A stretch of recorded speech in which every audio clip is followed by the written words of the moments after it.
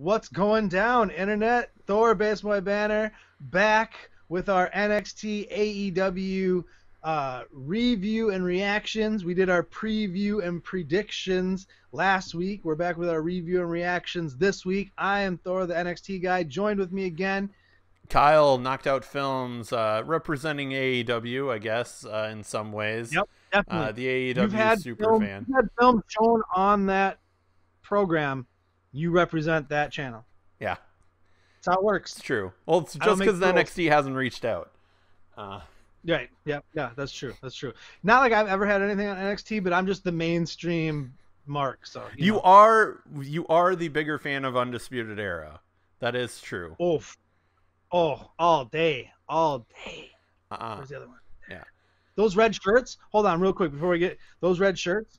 Oh, if anyone wants to send me a Christmas gift, um, hey, Yeah, I was gonna I was gonna say as soon as they came out in those red shirts, I was like, well, our prediction of them breaking up uh, probably isn't happening because they got new merch. the red with the camo with the camo. It's like a dark camo and then a red insignia. It's so hot. Yeah. So hot. I need it.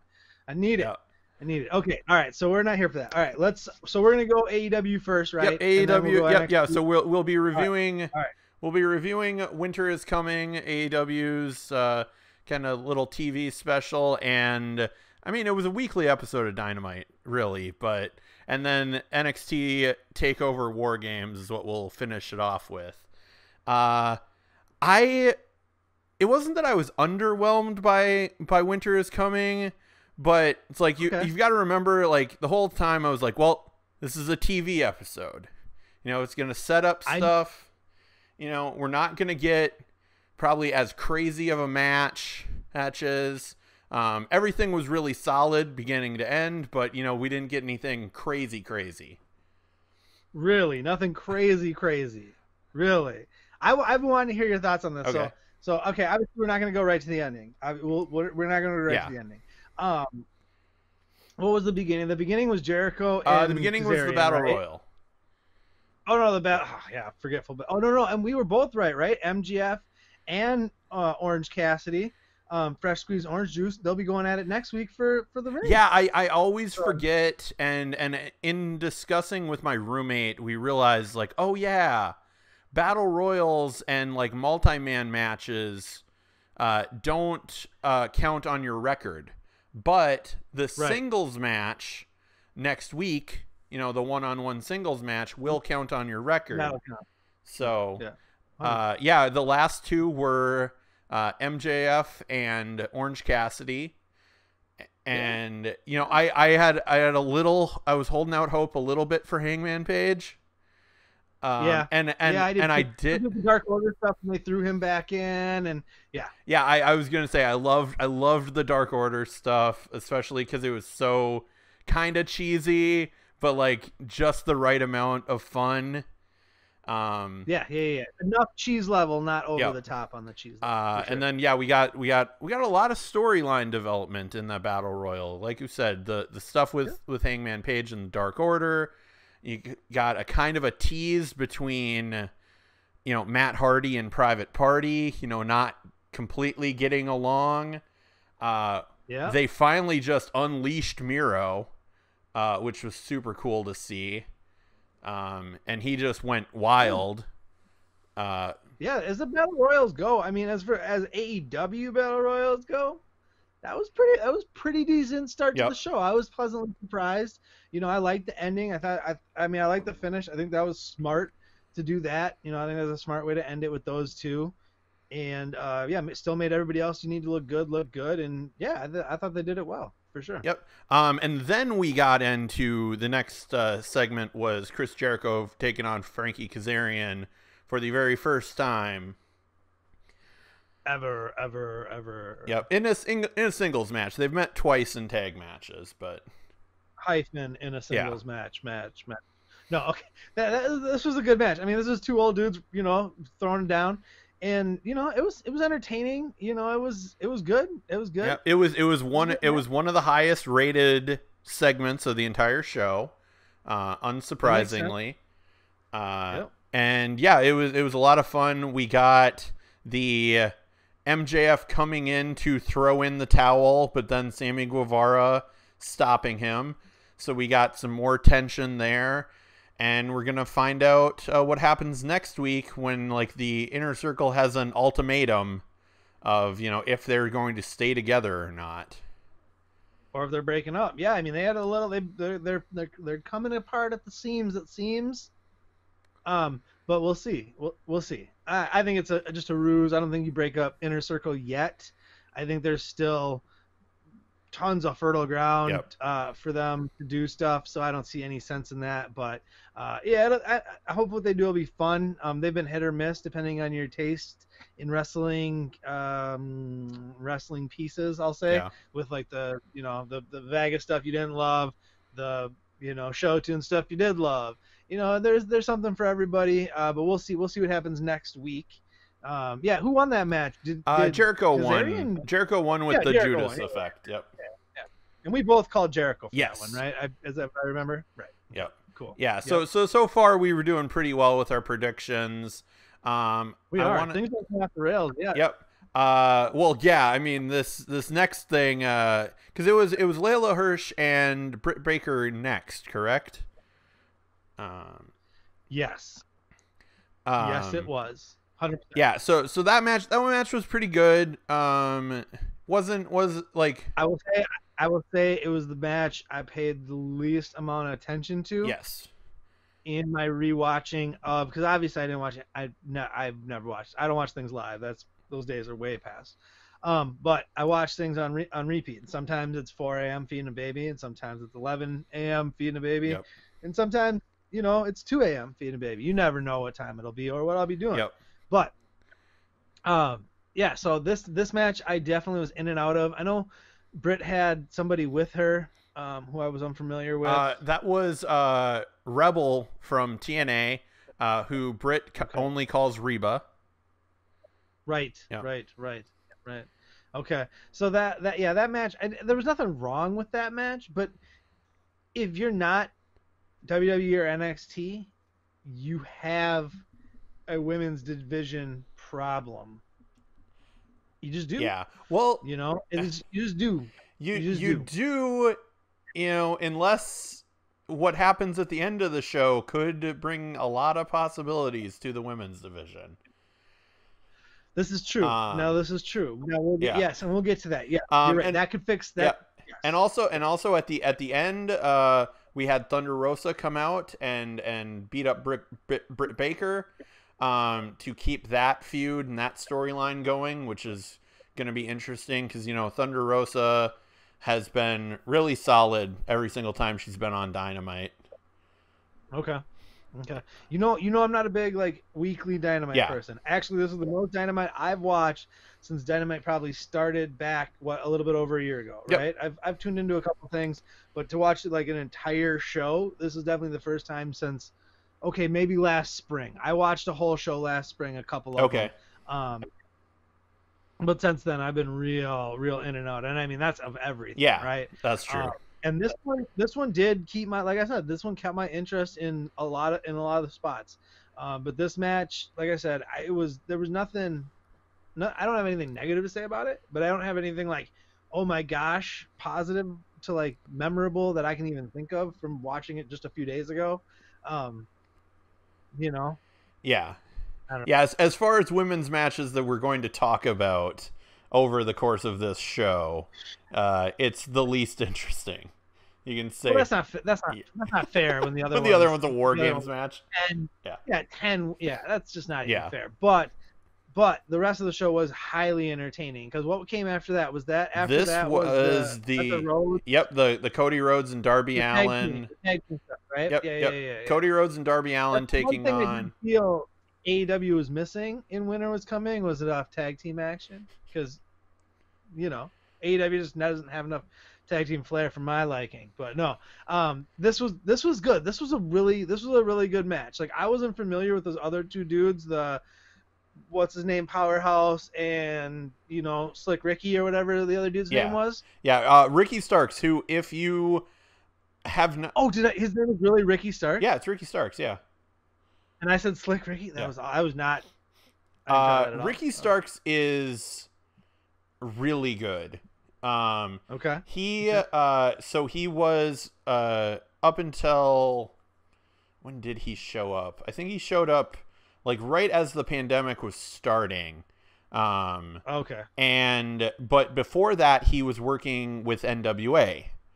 Um, and he was the television champion and he actually had a very very good uh 6 minute TV match with Nick Aldis On power. on Power. Okay. Um, but yeah, he he's come in, um, and to me, he's the more interesting of the t- of the Team Taz members. Um, yeah. Yeah. No, I liked him. I liked him a lot. yeah, because I liked him a lot. I, I, I enjoyed this match. This was a the, uh, Darby always shines, but yeah, he was much more entertaining than uh, Powerhouse dude. yeah, and and he's and Yeah. he's even he's kind of even outshined um, Brian Cage in some aspects. But you know, then Brian Cage, all he needs to do is really show up and flex and you know hit a six one nine as a nearly three hundred pounder, and you're just like, wow, that guy's you know kind of impressive So athletic.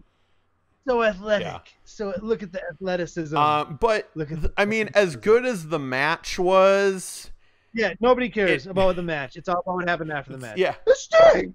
Sting! Sting!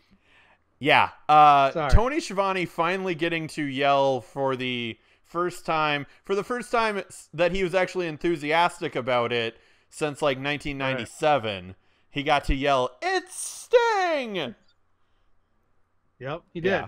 How, and how when you saw when you saw Sting, and you saw the promo building, were you thinking Sting? Uh, we.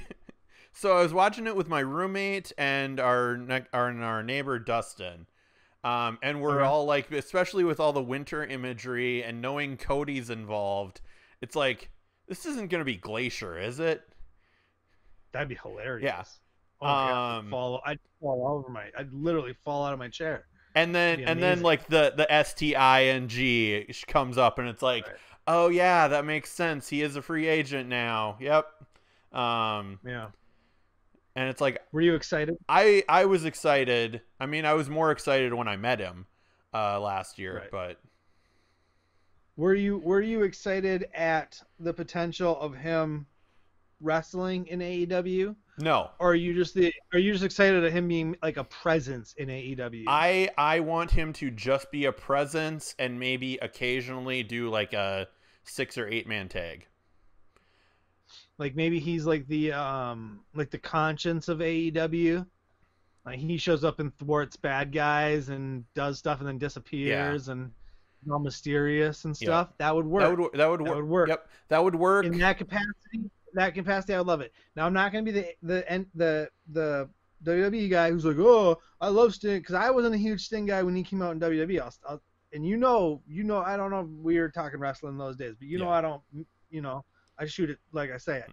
And um, I wasn't a big fan of that, especially what they did to him. I just didn't care. I didn't care for that. And his matches, all his matches, his Mania match, the ones with Rollins, were, I mean, that dude's pretty much his neck is like in, it's being held together by silly string and duct tape. And I don't know, it just Sting I think should have never ever went to WWE, but that's a whole nother discussion. Him in AEW makes me super nervous about like him and Jericho or like and which Jericho teased and I was like, "Oh god, please no." Like maybe, you know, like you said 20 years ago, yeah. but not in 2021. I don't I don't want to see that. I have no we have no need for that, okay? Um I'm probably going to be just chastised for that, but whatever. Um and then but like you said, if he is the conscience, like a presence, an aura, like where he's a he's a ghost, he's a mystery, he's you know, oh, maybe even in like a leadership role, like a general manager, uh, Yeah. but something like that, cool. Anything outside of that, I'm like, I'm good. Yeah, well, I Good. yeah, I think ideally what will happen will be he sticks around long enough in that type of capacity to pass that role on to someone else. Okay. Be that Okay. be that you know, be that Darby who, you know, they're they're giving all these comparisons to They teased they teased a little Yeah. bit with the face the face and stuff like that. Yeah, um, yeah, yeah. or if or if that's Cody or kind of a combination um cuz that's why I said like I could see especially since they did the 2 on 2 team Taz of like right. we could get you know Cody, Darby and Sting taking on you know Starks, Hobbs and Cage, you know. I don't really want to. No, cuz I don't. I like Brian Cage a lot. I don't want to see him in there with Sting. No, no, Sting. No, I don't know. Okay, okay, we'll we'll just let that one go because Yeah. in the moment, hey, they got the moment. The moment was cool. Um, where it goes from there, who knows? Um, it was cool in the moment. They definitely stole. They got all the talk. They got all the buzz. You know, after that. So I'll give and for what happens at the end, but we'll get there. Yep. Um, because I have a different, I have an opinion on what happens at the end. I actually really am curious to get your opinion on it because yours is much more valid than mine is. But um, the, the was is was it the last? Is it Moxley Omega Yeah, already? well, Is well, that- I was gonna say, do we want to talk about the two little backstage promos with the Young Bucks uh, and the acclaimed uh, Max Caster doing literally the worst rap of his career, um, Okay. which is sad considering it was his debut. Um, right stage. But Right. it's like, oh, I didn't know who they were. yeah, I didn't know who. I didn't know who any of those guys were. I knew the Bucks were. yeah, But I didn't know who anybody else was. Okay. And I was like, well, okay, this happened. yeah, So I was like, that means something, but I don't know what. yeah. And then what was the other backstage part? Uh, the other backstage was the backstage interview with Hikaru Shida, uh, talking about her match with Abadon uh, next week. Uh, I'm not super thrilled about that. Like we we haven't Yeah. seen Ab- Abadon on screen for a while because she got hurt. Um, and I just don't know if storyline wise this will be as interesting as we hope. You know, okay. Okay. Huh? but We'll see. I mean, yeah. I, I don't think we could probably need to talk about those backstage segments Yeah. then. I think we can just slide right past Yep. them. So, uh, Mox Omega. Mox, Mox Omega. Should I, go first? yes, you you I go I first. Yep. first. I want to hear what you have to say. Um, I thought this was a really good match. I think this is actually probably, from what I've seen, their best match in AEW. Um, um, uh, we'll talk about the finish separately. I'm just going to talk about the match right Yeah. now, and then after you talk about it, we can talk about what the the ramifications and, and the aftermath and stuff like that. But the match itself, start to finish, I thought they told a really good story. I thought they used the announcers telling the announcer storytelling, the in-ring storytelling, um, all to, to a perfect T. Really, the, the desperation in, in Omega, um, his connection to Callis, why he was there, um, you know, just JR and them, their love for Moxley and everything Moxley's gone through, and they just built they built a really great story, and then they ended it in a really um, in a really interesting way, I think, especially for where they're at, and especially for how new this company is. Um, to but to end the match on kind of a, a screwy finish. Um, you know, it didn't bother me because I'm not a hardcore and I'm not like, oh my gosh, like I didn't like, I'm not, I know it bothered some other people though. Um, but yeah, so that's where I sit. I, I really liked it. I thought it was a, I thought it was a decent show. Like you said, I wasn't overwhelmed. I was like, well, I'll be watching AEW Dynamite every week from here on out. You know, I mean, but I was like, hey, I'm definitely gonna keep an eye on this more so than I have been. Uh, because because I like what's going on, especially with the ending. I want to see what, what happens. But you go, you tell me what what your feels. What what happened? Um, so so my only the only thing that I can really say like the the match itself was super solid. I I did enjoy it, but it just I think I had too much um too much anticipation for it and too much expectations and it didn't quite Yeah. get to that level to me, but I still thought it was Okay. really good. Um, and then yeah. and then getting into the finish, I did like the fact, and a couple a couple podcasts that I listened to had pointed out the fact that I like that we didn't just it wasn't just like a oh Don Callis is here we're gonna have an angle we know that because Don Callis has been there for a lot of Kenny Omega matches as of recently. Yeah. So it's like, okay, this isn't Yeah. out of the realm of of, you know, like this is so weird and out of left field that Don Callis would be there. But, you know, now we know like as soon as he started to get in like into the match, I was like, "Oh, this is a little weird." Plus, Once he was hurt, I knew, and like once Kenny hit, which I think he did hit the ground weird, because I think he busted it. I think he actually hurt his orbital socket. It looked like he had, had did something to his eye. It might have just been a black eye, who knows? But um, he definitely something. yeah. But when he had rushed down, I knew too. I was like, mm, mm, the fix is in. Yeah. I'm like the fix is in.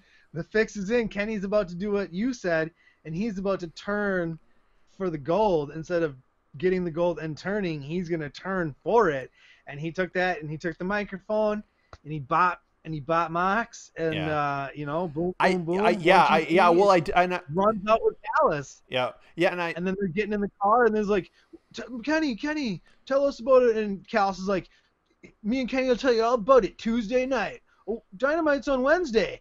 Access TV, Impact, pew pew pew, guys. And then they, you know, hop in and dip out. Yeah. You know, so Um. So yeah, yeah. It was. It was. I think part of it was the fact that I did have people over, uh, so we weren't able to like listen to the commentary as as intently, um, because uh, we were just like, okay, what did he like? They're clearly faking an injury, but I think it was something with, you know, that was that was like the heater next to the ring, trying to keep the ring warm or something. Yeah, and yeah, that's yeah, what yeah. they were concerned about and it's just like it was a double arm DDT on the floor. Like that's a big spot but not like an injury big spot. Um, right, right, right. and then yeah Callis coming out you know handing the microphone. Uh, but I did like the fact that it wasn't just microphone shot one two three it was Right. No, no. it was Oh. microphone shot four V triggers four V angel. triggers Yeah, four V triggers, and a yeah. one winged angel, which I ha- almost half expected. Like because it hasn't happened yet in AEW, I half expected Moxley to kick out, You know? and then Kenny. That'll happen when he that'll happen when he beats Kenny uh, to be the first two time, like you Yeah. called, two time AEW champion and the first person to ever kick out of the one wing angel. I can see them Second. doing that down the road. Um, second, okay. So, well, fir- well, First first, in AEW, AEW. though, right? Yeah, the the only Right. other person who's done it is Kota Ibushi. Oh, oh, Ibushi? Yeah. Really? I thought it was, I was say Okada. It- no, it was a it was Ibushi in So that, in so that one of their DDT That match- matches. that uh that move has been so protected even in Japan. That's pretty cool. You don't see you don't see finishers that protected these days. But I like that. I like Yeah. that. Um so now my my thought was okay, I understand at now you got Impact and AEW potentially not merging but having a feud, right? Mm. uh, maybe going at it, a little brand supremacy, right? Um, is the AEW's been around for less, uh, okay, a little bit over a year, a little bit over a year, right? Yep. Coming up maybe on two years in spring, but Dynamite's only been on for just over a year. Uh, is this too early? Is this jumping the shark a little? Is this too early to do this kind of crossover? It it will depend on the extent of the crossover. Like if it's Okay. similar to their relationship currently, well, pre-pandemic with AAA, and it's just this, you know, you'll occasionally see a AAA guy a on Dynamite and you know, Kenny will go down to AAA and resurrect the mega championship and then never defend it again. Um, Yeah, I doubt that. I mean, with them having the AEW championship on Impact, uh, this feels deeper. This feels deeper than that. Yeah. You know what I mean? Well, and and like we we do have that you do have the history as well between Omega and really both halves of uh, the executive vice presidents uh, for Impact Wrestling because uh, like Don Callis is is the one executive and Scott D'Amore who is part of Team Canada uh, has also been a pretty big figure in Kenny Omega's career as well.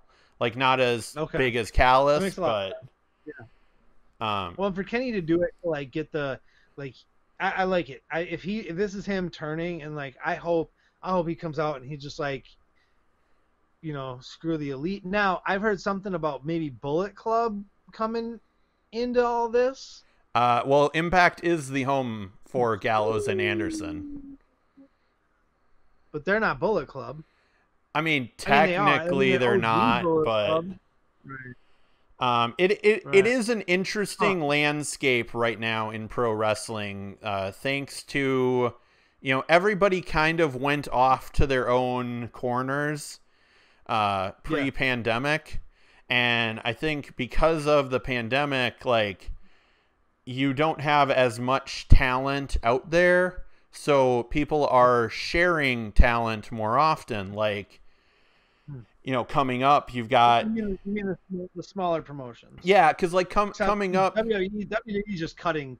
WWE's literally trimming their they're trimming their roster down to, you know, I wouldn't say bare bones because they had they had probably too big of a roster to begin with yeah, pre-pandemic, but they're trimming down their roster pretty heavy now. Um, and it looks like there's more cuts even coming.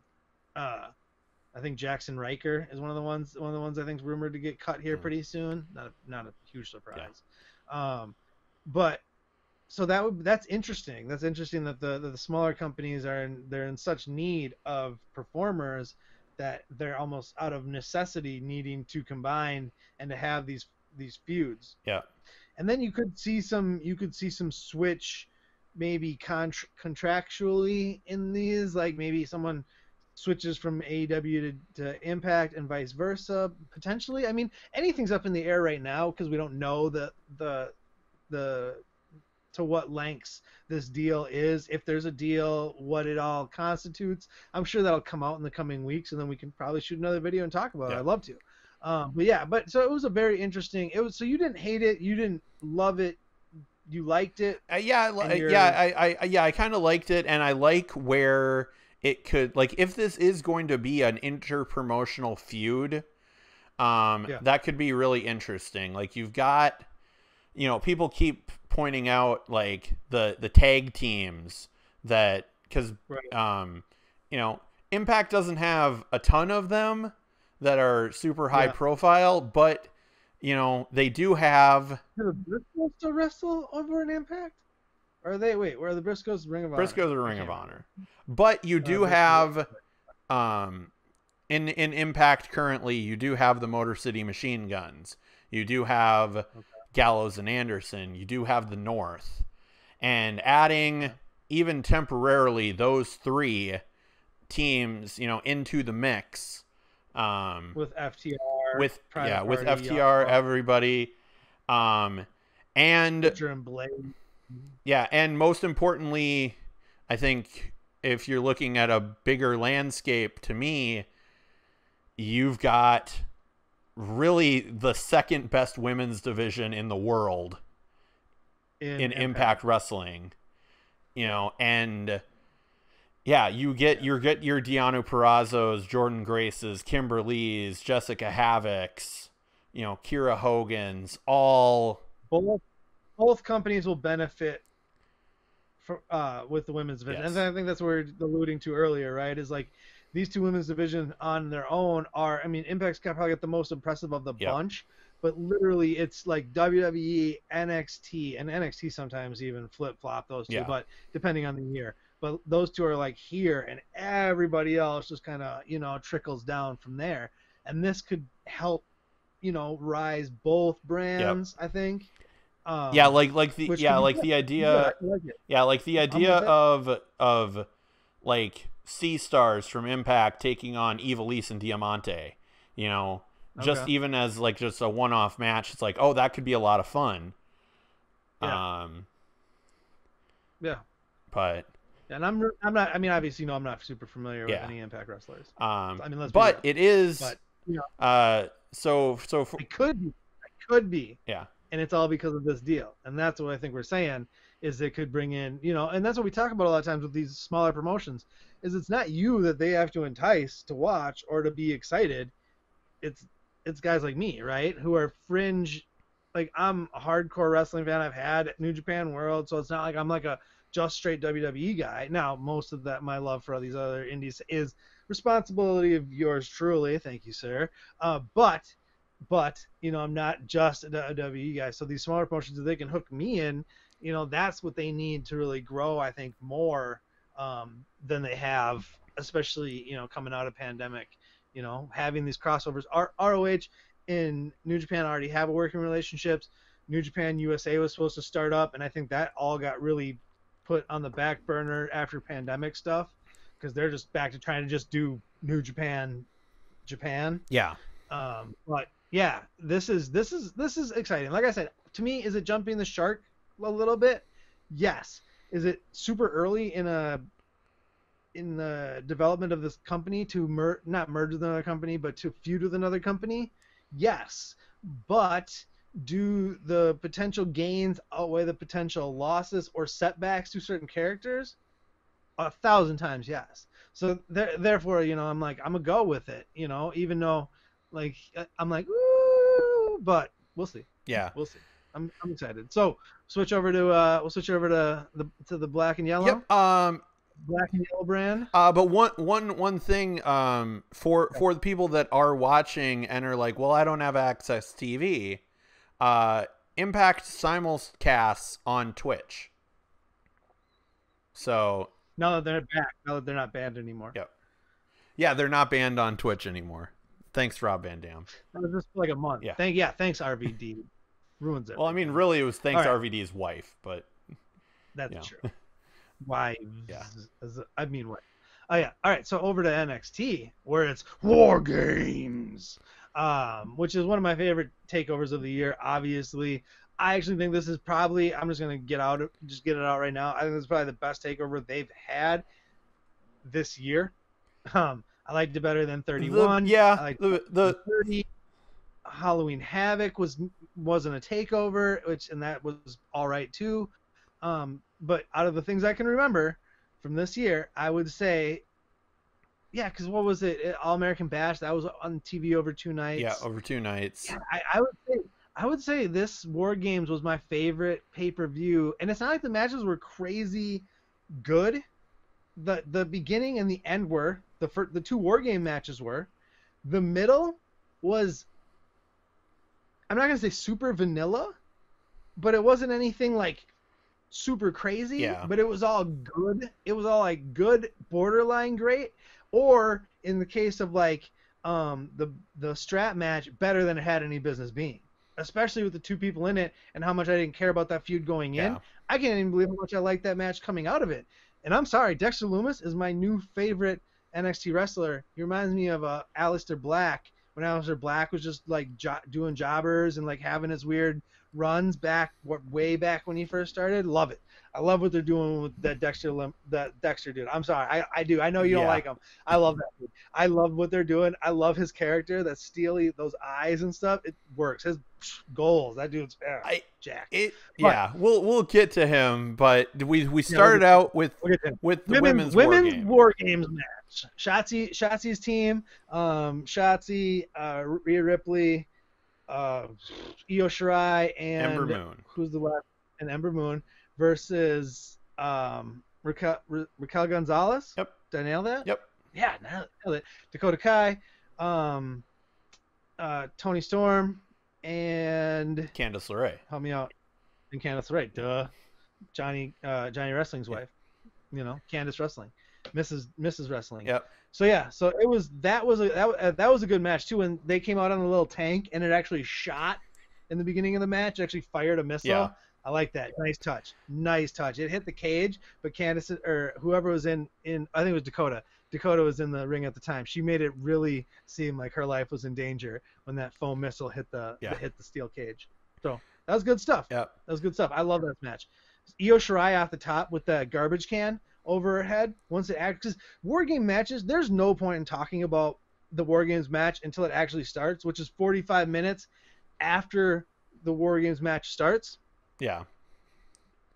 But uh, and that that was literally the start of the war games match was Io Shirai falling with the garbage can in there. Although she got attacked by some, Uh, some Indy some wrestler I Hartwell. wasn't familiar with. Indy Hartwell, which I was I'm not familiar. Um, like I said, I've been I, you know, but yeah. So I really enjoyed this match. I thought it was I thought it had you know a lot a lot of good spots. It had Io Shirai getting put through, or was it Io Shirai that got put through the um put through the ladders at the at the end. Yep. Raquel Gonzalez? Yeah, Yeah, so so they're they're good- clearly setting up uh, a Raquel Gonzalez versus Io Shirai match. Uh, she's not the one to take it off Io. uh, yeah, I don't I don't think so. I mean, they w, the one. NXT is really behind her, but yeah, I, I don't know if she's she's the one to take she- it off. Um, but a nice little touch, and uh, as as we were talking about uh, beforehand, uh, I'm literally reading the Young Bucks book right now, um, and I just got through uh, the guerrilla war- warfare match uh, from PWG uh, between the Young Bucks and Candice LeRae and somebody else. Um, Okay. and during that match, the Young Bucks hit Candice with uh, the most lethal weapon they could find. Uh, they they glued thumbtacks all around an Air Jordan and super kicked Candice in the face. Uh, so Candice had actually, I don't think she wore Wow. it in the ring, but she wore it in her entrance gear. Uh, it was a garter that was had thumbtacks glued to it Oh, because she was like, "If I'm going to Wow, that war, this is how I'm going to war," and it's like nice little, nice touch. yeah, That's, that's a nice touch. yep, That's a nice touch. Yeah, that that match, I loved. I love that match. I thought it was really good. I thought every woman got moments to shine. I thought every you know every woman got. No one came out of there looking weak to me, no, and no one came out of there looking like not a threat. Yeah. And to me, it was like the women's division in NXT is back to being a strength again, because it wasn't for a while. And it was one of those things where like the women's matches were under under impressing in takeovers, and you know they were building right, but they were building. And I think I think last War Games, I think this was better than last War Games for for me for the women's one. Even the last War Games had like Dakota Kai turning on Tegan Nox, last War Games was pretty good too yeah, um, the women's war games last year. But I think this one, this one for me was I think a little bit better, and it was a great start to the show. Um, a great start to the show. Uh, yeah, I think So- last year's War Games ended up being um, the Rhea Ripley show, yeah, and that was that was great. Um, it's just now in hindsight, it feels weird because of you know her losing to Charlotte later and and all Oh, that. that but up. um, but like this this one, I think, like you said, overall it felt kind of a little better. Of like everybody got to showcase everything. right, right, yep. Yeah. Um, Yep. and then next was the strap match. Next was the strap match: Dexter Dexter Lumis uh, versus versus um, Cameron Gaines, Grimes. right? Cameron Grimes, Gaines, whatever. Cameron Grimes. So Dexter Lumis uh, versus Cameron Grimes. It was it was a it was a better match than it had any right to be. Yeah. I've hated the feud. It's been awful. Hopefully, this can finally move past it. Dexter Lumis is a much better uh, caricature artist than I ever would have thought. I mean, ever would have thought. You know, honestly, ever.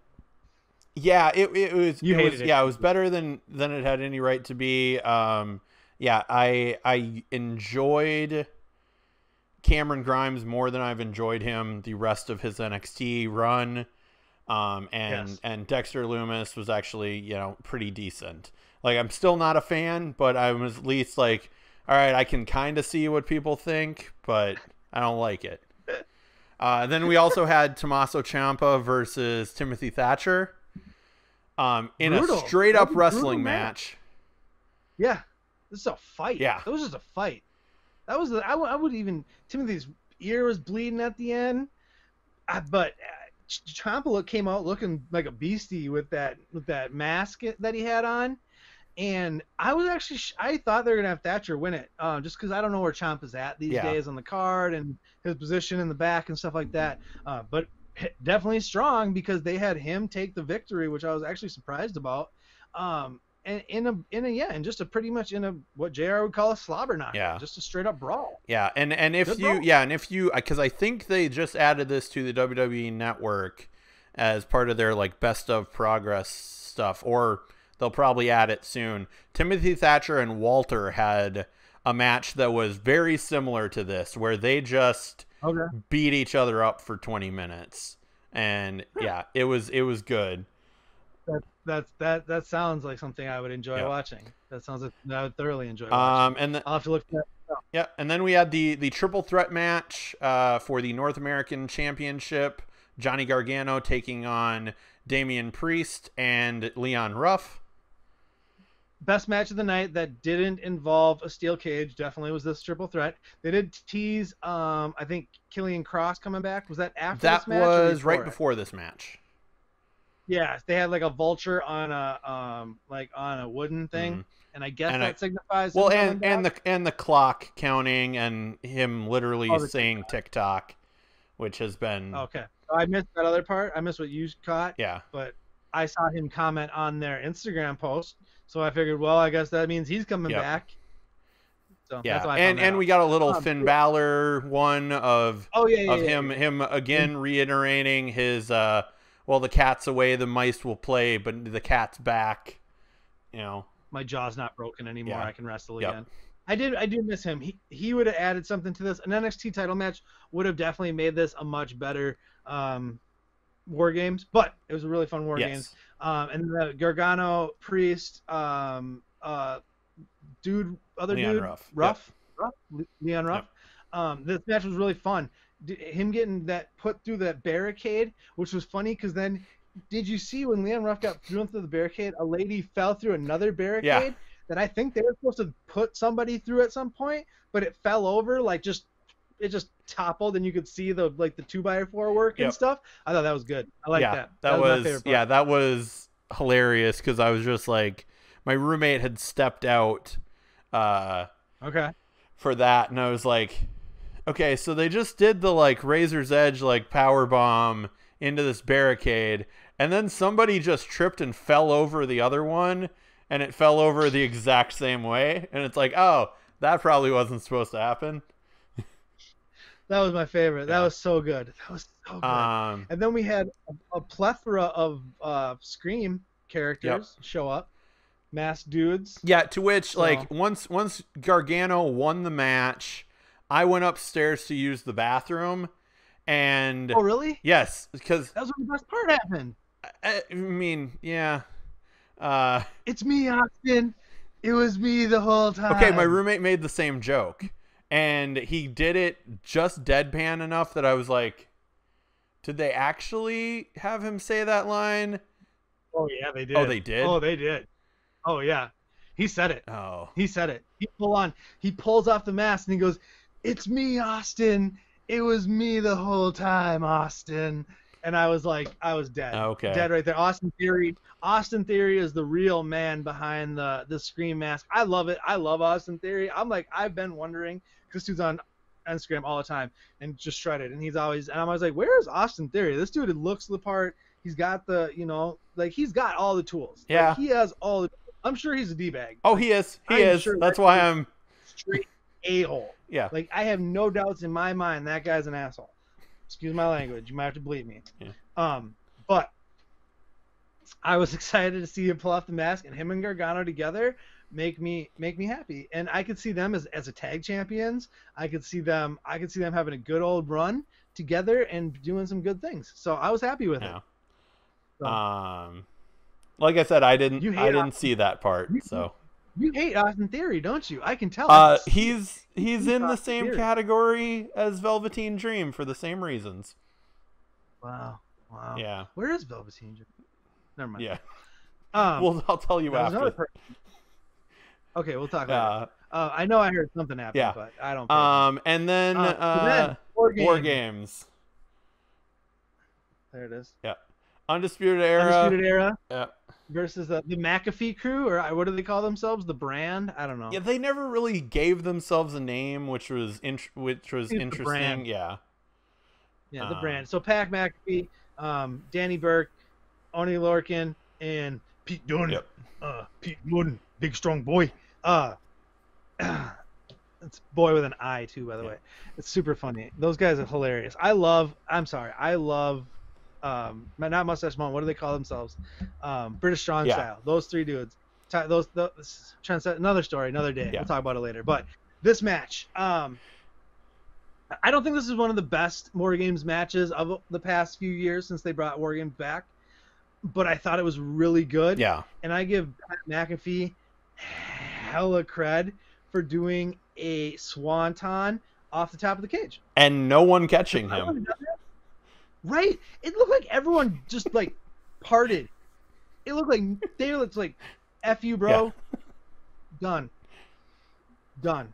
Which I mean, I don't blame. I don't blame them because he's not a small guy, you know. But still, Yeah, he looked like he was hard on that. What?